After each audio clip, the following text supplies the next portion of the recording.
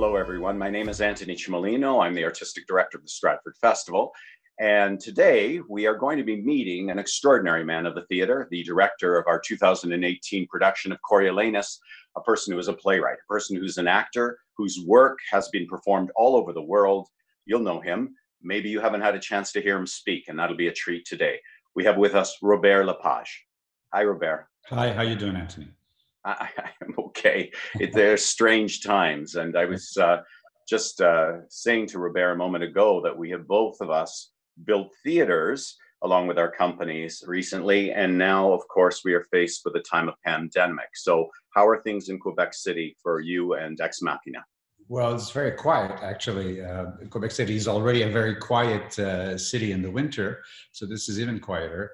Um, it's kind of strange because you know it's our, it's our first year at, at, the Diamond. The Diamond is of course the name of this uh, new venue that we've built, and uh, everything was going so well, and we're so happy and all that. Now we have to start all over again.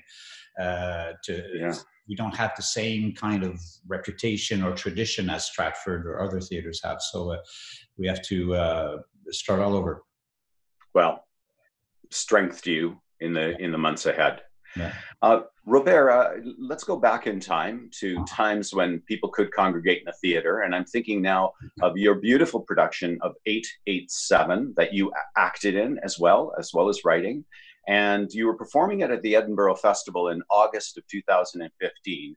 And mm-hmm. you and I had dinner, and uh, we were trying to find a project that would uh, attract you to come and do at Stratford. And we began to talk about Coriolanus Mm-hmm. And you talked about something that completely uh, uh, drew me in, and that was the role of the voices in this mm-hmm. play. Mm-hmm. Yeah. Now, uh, sorry, I, I, should have introduced the play a little bit. Coriolanus is a play about a, a leader um, uh, who is a military man. He's very proud, he's very accomplished, but he's not empathetic. He doesn't even like leadership. Probably his best quality is he's in, unable to lie and um, and therefore he suffers the price of not getting the support of the people. And the people are very important. Their voices are very important in this play. And normally it's staged with big crowds. And then, Robert, you told me about your vision of these voices. Mm-hmm. Yeah. Well, of course, because uh, the thing that's quite interesting in the play is is uh, uh, that the actually the real rivals are not are not Aufidius and Coriolanus. It's it's the the voice of the people against the old established power, and uh, that for me resounded a lot uh, in our. Uh, actual predicament, but uh, also uh, because we're very obsessed by social media, by how the press has changed its role with, with time, and how newspapers don't have the same impact as media, uh, technological media, and all that. So I was very intrigued, and and you could find uh, the um, uh, the sources uh, of how that works, how the, the internet works, and how social media came about in uh, Roman history. Because you know, there's, I was very, very uh, surprised to discover, for example, the thumbs up and thumbs down thing that Nero or Caesar does at the at the circus is actually the same thumb up and thumb down that we have on Facebook when somebody likes something or doesn't like something. And then it goes further. The whole expression of the wall, for example, you know, the, the Romans had this thing called the wall, where you would go and you would write, okay, I'm looking for somebody to build this for me. Is there anybody here who knows about this or that? Somebody would write on the other side of the wall the answer. So uh, the internet started to work pretty much with the same kind of uh, vocabulary as the Romans did. And, and they even had this thing, this kind of wax tablet that had the exact same dimensions and rounded corners as the iPad. And people would, would write with sticks and wax like that. So uh, that uh, that thing intrigued me, and and I could actually understand that at that time when when Rome is trying to um, establish the basis of its republic and democracy and all that, that the public opinion is important, and they would they would start to create these devices to have people. Uh, Say, say, say, give their opinion, but also elect people, elect uh, tribunes to, to actually speak for them. So, um, the dissemination of information, mm-hmm. uh, the way that it was made bite size, was like the precursor to what we do today. Absolutely. Um, yeah. Robert, uh, let's talk about the people then. Um, you know, by the time you directed this, and you did two workshops, right, in Quebec City, uh, I think around 2017, 2016, 17. Yeah. Mm-hmm. yeah. And um, and then you directed it in the spring of 18 for the final production. Um, there was a real rise in populism during that course of time. Yeah. And yeah. is that what you're referring to in terms of the power establishment versus the people? Well, yeah, yeah, in a certain way, but we were also at that time we were coming out of the whole uh, one uh, riots in the U.S. and and uh, so there was a lot of um, dissatisfaction. It wasn't just about uh, how people uh, complain and and and and uh, write their comments on tweet or or or, or on, on Facebook. It was also about the, the the, the kind of social unrest that we were starting to to see in different countries, and the closest, of course, was what was, was, going on with the one percent riots in, in the United States, and then, of course, uh, there's the whole Trump era that starts, and and uh, so so I was very very concerned by that. I, I, wasn't necessarily I didn't want to model the show on one specific conflict or one specific uh, subject. I, I, wanted it to be kind of more freeform, so that it applied not just to international uh, political realities, but also to our local uh, political realities, and of course after that, we a lot of stuff happened in Canada. so, so it's uh, uh, I tried to leave, leave, it open as much as I could because uh, I know that Stratford has a, um, an international, universal audience also who, who, you know people come from all over the place and they, they come from different political realities and uh, so i didn't want it to make it a very specific thing and so uh, in that regard it's a modern setting against Roman iconic ruins and monuments. yeah, so it, it, so it feels like it's it feels both like it's Italy and Europe, and also that it's yeah. the United States and Capitol Hill and yeah. senators and and congressmen. It, it, very much feels international. What was the inspiration of modern versus ancient? Hmm.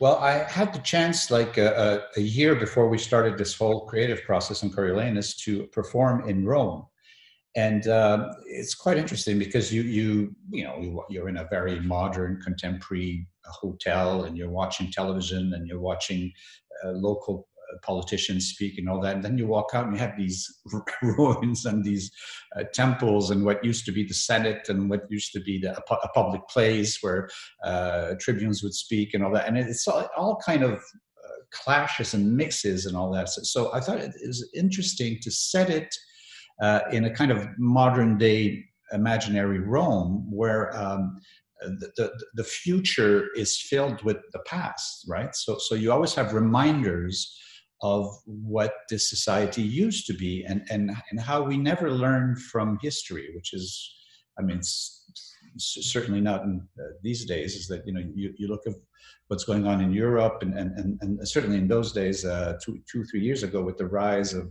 all the uh, neo-fascism starting all that, and you go, do people remember that just like 50 years ago, uh, we were coming at, so maybe 60 years now, we were coming out of a, a world conflict that was all that was all triggered and and, and uh, that started on these exact same things. So so people's memories are very short. So, so it was important for me to create a kind of an, an environment where you, whatever conflict or tragedy is being played in front of you, even though it's contemporary, that in the background there's always a reminder or an echo from the past.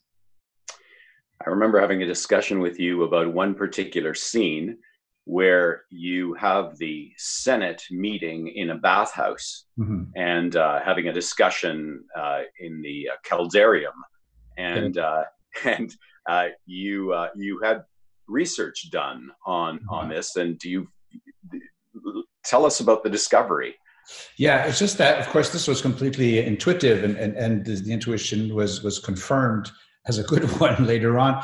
Is that um, in the early days of democracy, I guess people did not have all these very fancy. Uh, auditoriums where the Senate would meet and they would talk and all that, and they would look for uh, uh, places where there'd be where the sound would be good, where people would be heard if they're just standing in the middle of the room, that would have a certain, a certain shape, um, and uh, so they, they would hang out in bathhouses, and that's where a lot of these first speeches and these first meetings uh, happen in bathhouses, and and uh, so it was you know quite quite a coincidence, but I guess more of an intuition than any, anything else, uh, because we know that at the time, uh, power was a, something that belonged to men, and so it was a place for men only. Um, so, so it, it, felt a bit kind of a, um, it was a kind of a kooky idea when we started toying with it. But then, of course, when we discovered this thing, that actually these places were called bathhouses. Uh, when they'd have a meeting um, in in the bathhouse, that, that's what they would say. Of course, that changed, and when they actually built actual buildings to have these conversations and these these meetings. Uh, uh, they, they, kept they kept the nickname of bathhouse. Hmm. Um, yeah, it's funny about the all that changed with time as people um, as the mm-hmm. uh, ancient world went away and the feudal era began. Uh, they probably wouldn't know what a bathhouse would be. You know. now listen, um, Robert. Uh, the use of technology in this production Mm-hmm. It, it, you said this play is not about any one thing, but among the things that it is about, it feels mm-hmm. to me like it's partially about how we communicate in the mm-hmm. modern era, the separation between source and uh, yeah. and listener and the communication. There's texting, there's mm-hmm. radio, there are you know uh, uh, cameras that capture. What was your what were your thoughts in in trying to lay all that out? Well, there's something very practical about new technologies. Is that if uh, you know, uh, I mean, you know better than I do. You you, uh, you do big productions, and, and we're always kind of uh, preoccupied by uh, cast size and and and uh, are there going to be a lot of soldiers in that battle? Are there going to be a lot of tribunes in that in, in that scene and all that? So we're always preoccupied by. Um, shows that we can't really stage anymore because we don't have the means to have so many people on stage and that. Uh, and uh, technology offers a kind of an option. If you're going to set something at the time of talk shows or, or, or talk radio, um, you don't need to have 200 people on a public square uh, screaming to the, the, the politician what they think. You, you, you have three guys sitting around a, uh, a, a talk radio uh, table and, and, and they, they get uh, you hear the voices of people calling in, and that's how the whole uh, piece uh, starts. And, and uh, so, so it's something very practical about using t- technology because we're in the age where we have these huge, huge, huge forums, but they're all, of course, uh, uh, they imply that this one person alone sitting in his uh, living room with a a, a, video doing a video conference you know so so that for me was there was something very practical about that that we could actually pretend that that, that uh, there was a lot of people on stage when in fact there was very few people on stage uh, compared to other uh, uh, stagings or, or what usually uh, one of these Roman plays uh, asks of a, a, theater company. Robert, um, as I said at the beginning of this, you're a playwright, you're a director, you're an actor. But one of the things you also are is you're a magician in the sense that you are able to create uh, magic on stage and we uh, metaphors, uh, visual effects that that surprise us and help us see things in new ways. Um, and I mention magician because they don't like to tell people their tricks. Yeah. So, um, what are you comfortable? People who watch this film are going to see a stage production that was mesmerizing. It mm-hmm. had both a reality and a way of dissolving that reality, which was filmic to say the least. How did you arrive at the shape of the mm-hmm. stage, the ideas behind it in the roughest terms, so that people aren't mm-hmm. uh, aren't uh, looking for the the yeah. how it was done. Yeah. Well, the, the thing is that in the um, uh, audiences today have a very, very strong and cultivated uh, film vocabulary. People are used to having stories told to them through television and through film, uh, and uh, they, they, they know without knowing that the actual terms, they, they, they know what a, a flash forward is, a cut to, a, you know, there's all these techniques that help you understand how, uh, how, how, the story goes. And um, so I wanted to use that vocabulary, but in the theater. And what the advantage of that was that um, by framing what was going on, uh, very often you could actually, like in cinema, uh, as somebody is saying something, you could actually frame on something else or on somebody else's reaction. So you kind of underline uh, certain ideas that you can't really do on a broad stage. I mean, you could do a lot of stuff on a broad stage, but it's just that you you don't control the focus of the audience as much or as well as a uh, a, film a film shot. So um, it, there was a kind of a control uh, thing that was going on with this because uh, Coriolanus is a wonderful play, but it is, of course, it's all over the place and it takes a lot of editing and a lot of uh, um, cleaning up for, for, for the, the, the, the, main plot to, to, to come out. And uh, so it was important for me to have a bit more control on what the people see uh, and what you choose them to see. And, and of course, you have to fight uh, with uh, a, a, public that resists that because they come to the theater to be free, to be free to turn their heads and to actually uh, zero in on something that's not exact. So you have to constantly try to, uh, in a very non-violent way, frame what you want them to see and actually be playful with the audience. The audience liked. We, it, we turned it into a kind of a game. You know, people liked having a, segues and, and, and, and almost camera pans happen, even though they weren't done with a real camera. They were done with just kind of two panels that would be moving on one side or so uh, so you had to uh, by using that vocabulary that framing vocabulary you had to transform it into some kind of a game, some kind of a, a, a, fun thing. So people would always go, ah, okay, oh, I understand. Oh, right. Oh, this is how it's done. This is so. So the audience feels intelligent as you're trying to fool it. they feel intelligent. They feel, oh, they, oh, this is the rule of the game. Oh, I get it. Oh, this is refers to this kind of shot. This kind of. So, so there's a lot of double play and double entente in the staging that people enjoy and, and we all enjoy feeling intelligent don't we so um, robert uh, you directed coriolanus when you were um, the director of the national arts center french mm-hmm. theater i don't know if it was exactly there but this is a play you've returned yeah. to how did mm-hmm. it change in the 30 years or 25 years that had passed and what drew you back to coriolanus yeah, well, actually, uh, what drew me back to, to, to doing Coriolanus because the first version that I had staged um, didn't satisfy me enough. And of course, I did not have the means in those days to do the full blown idea that I had, which was this idea of uh, this whole camera uh, kind of framing thing.